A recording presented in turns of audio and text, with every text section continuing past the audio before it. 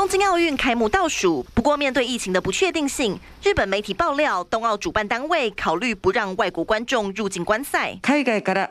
来日する え観客のえ感染をする方については、え国内外における新型コロナウイルスの感染状況や防疫措置、専門家による科学的知見等を勘案し、3月中に判断を行うことといたしました。每日新闻引述多名消息人士报道，受到日本疫情影响，当局打算不开放外国人入境观赛，主要是考虑目前疫情尚未稳定，如果强行开放外国观众入境，恐怕会造成民众反感。此外，针对国内观众的入场规模，也将重新研议，预计在三月底前做出最后判断。私としては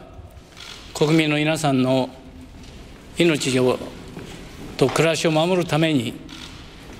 2週間程度の延長が必要ではないかな